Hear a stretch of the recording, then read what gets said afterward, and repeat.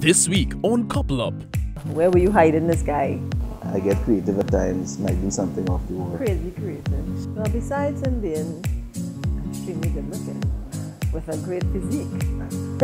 Sorry that we are giving away our age.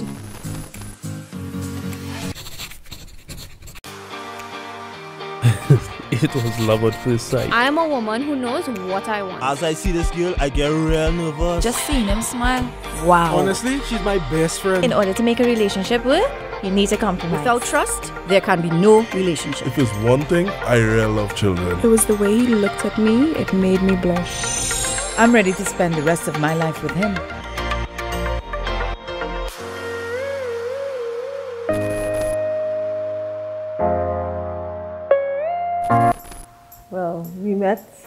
On the dance floor. On the dance floor.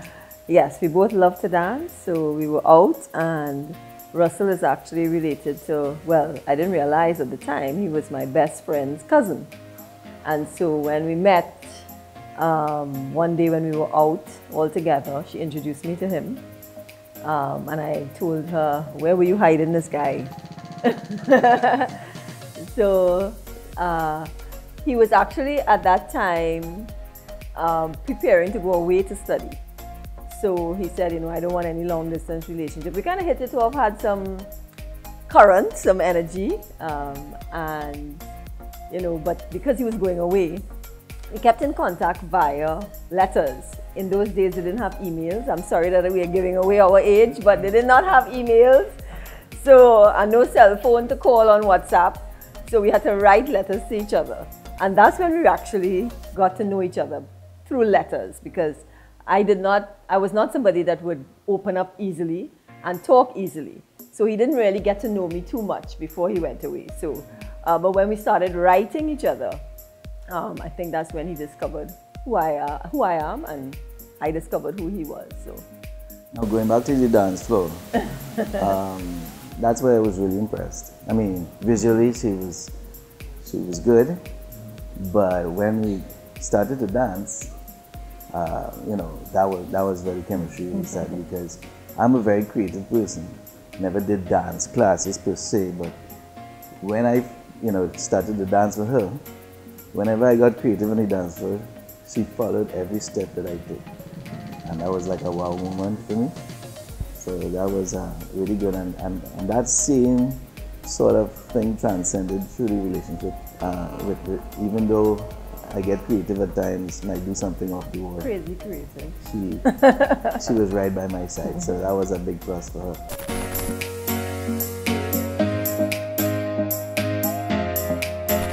Well, besides him being extremely good looking, with a great physique, Not anymore. um, I, I was attracted to his creativity. He's an extremely creative person and he's a visionary. Russell is very a settled person. He's a decisive person. And I guess some of that is what I didn't have. And, you know, for instance, we owned our own home at the age of 24. So it, if it wasn't for him, I, I don't think we would have owned our own home. He's a pusher, he's a fighter, he will a go-getter. So he um, he knows what he wants and he goes after it. So and I on the other hand tend to be a little procrastinator. I will be more lackadaisical. One today, one tomorrow, Monday fall on a Friday, well that's okay. So, you know, you look for what you don't have in the other person. So that's what attracted me to him. For guys, you know, it's um, it's uh, usually the phy- physical attributes that capture us at first. So besides her uh, countless physical attributes that would catch any person, I mean, being beautiful and all that, um, I think one of the things that really attracted me to her is was her um, her ability to as I said before, to go with me. Um, she was flexible.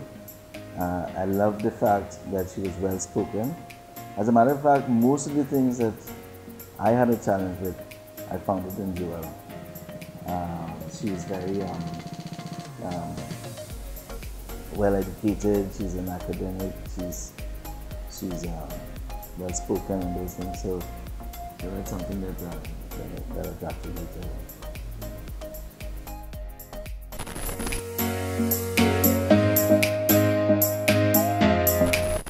I think that would be a number one answer communication. Um, Well, different things happen at different stages. yes, exactly. So we have been through a very rocky relationship from the start. Well, we got married, started the business at the same time. And as the man, the provider, my goal was to set up the business so that we could live comfortably. But in doing that, I neglected the home, neglected her, and even the emotional connection. You know, we were just distracted.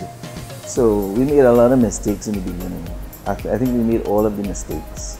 Um, so we would have gone through a lot of, or all of the issues. But uh, you know, communication, as, as you know, is, is one of the main problems for divorce for couples. Um, relationships being challenged and destroyed.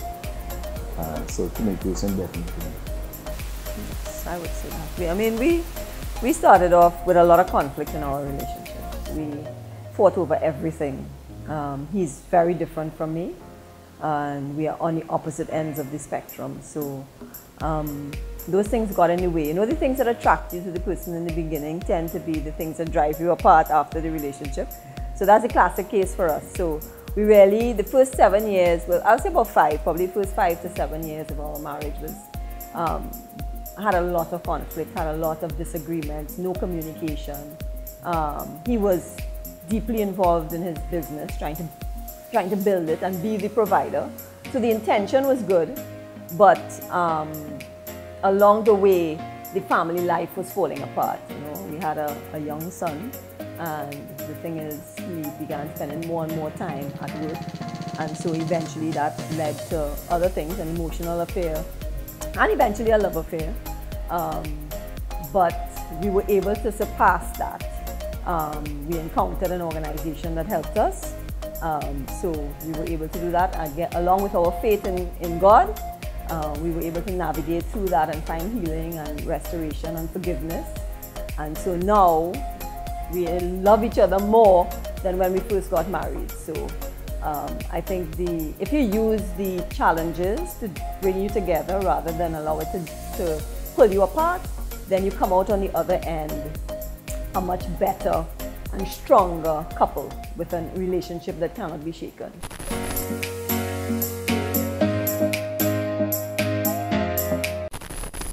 Uh, a big deal for me would, would be, um, you know, when people look for someone for a relationship, they look for someone who could meet their needs. And we go into relationships trying to meet our own needs.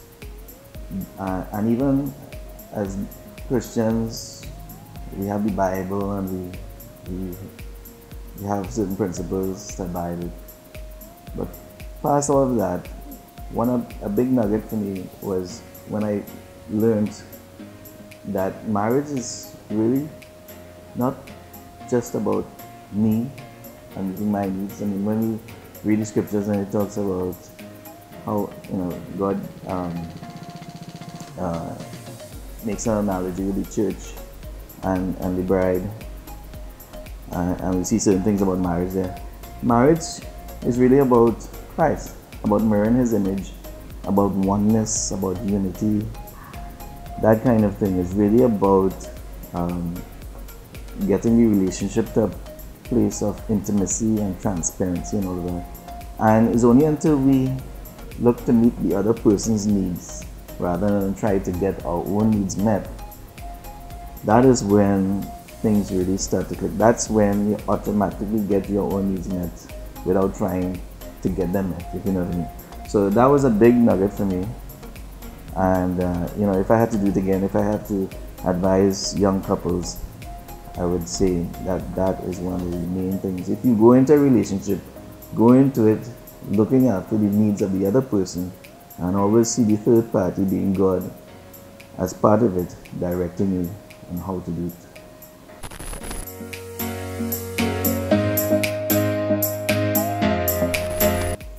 For me, I would say, I would tell couples that you need to be intentional.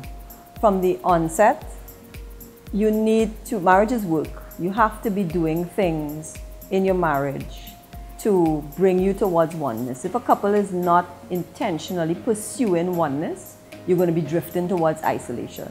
And you have to guard against isolation in your marriage. And that will only become with intentional scheduling of time together, of making sure that you go on date nights, of when the child comes into the home, knowing that your spouse is still your priority. Despite all the needs of the children, your spouse was always God first, your spouse, and then your children. And everything else, including, including church activities, hobbies, everything else comes after. But you must be intentional about working on your marriage and doing things that will strengthen and develop your marriage continually throughout. It doesn't end, it's a constant work to get it to the point of deeper intimacy. You can always go deeper. Accountability is another great point. Having couples or people around that you Yes. can share your lives with, that you can be open and honest with about your relationship, get advice. You know, the Bible talks about a multitude of counselors, and I think it's, you know, sometimes when you go into your challenges, you, you, after a while you think, well, let me just handle this on my own. And I think that is the, the devil's intention for us to I, isolate ourselves. But I rather, I think the best thing to do is when we are open and honest and we can share of our challenges with others. That is uh, when we can get um, help. Yes.